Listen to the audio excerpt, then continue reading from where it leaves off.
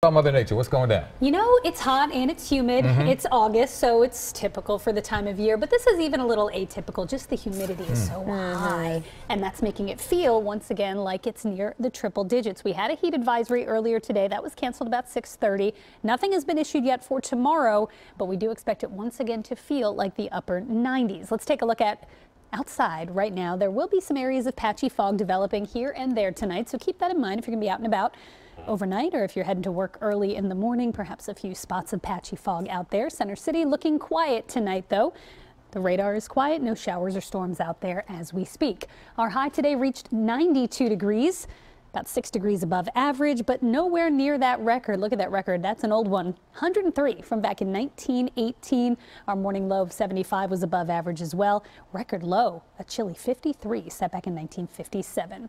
So what's going on outside right now? Well, temperatures have not dropped off much from that daytime high. We're still in the 80s in Philly, Trenton, and Reading. It's 78 in Allentown, 79 degrees in Atlantic City and Wildwood. But Storm Scan 3 is quiet for now. Nothing going on as we head through tomorrow. Once again, just the daytime will cause enough lift, enough dynamics out there for a few pop-up thunderstorms to occur once again. Take a look at the humidity, though. It's going to be right back in the oppressive range for tomorrow. Wednesday looks like the steamiest day of the week with dew points in the mid 70s. That puts us right in the insufferable range.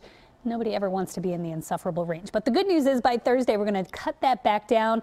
Not so bad on Thursday, but as we know, to go from insufferable to not bad, you need some sort of catalyst. And usually that means thunderstorms. So what to expect moving through tomorrow? We'll start the day with some sun.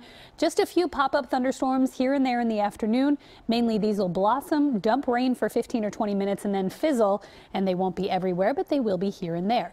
Again, on Wednesday, we start the day with some sunshine. Now, a front's going to be moving through in the afternoon and evening. That means a little bit more coverage for Wednesday as far as thunderstorms are concerned, and some may be locally strong, especially at night. Severe threat for tomorrow is marginal, the lowest risk on the scale there, and it's mainly north and west in the afternoon with the chance for some marginally severe wind gusts or possibly small hail. But again, storms are few and far between tomorrow. Overnight, mainly clear, warm and muggy at 76. Your forecast for tomorrow, mostly sunny with a pop-up thunderstorm at 92. So if you're thinking about getting outside, hitting the trails, going running, maybe a good day for the treadmill. I know I don't like the treadmill either, but it's going to be very steamy out there. Morning, midday, just drink lots of water. And in the evening, probably not so great. Very hot, very humid with thunderstorms around. But the humidity reduces by Thursday, and that means good news for the Eagles preseason game, 85 degrees at kickoff with lower humidity. So Thursday is the nicest day of the week. Not as humid after two steamy days tomorrow and Wednesday. Friday seasonable with sunshine high 90. But over the weekend, looking to turn a bit unsettled again with showers and storms possible Saturday and Sunday. We still got a ways to go, so we'll keep an eye on the weekend. I don't think it's a total washout, mm -hmm. but again, maybe dodging some showers and storms. Okay.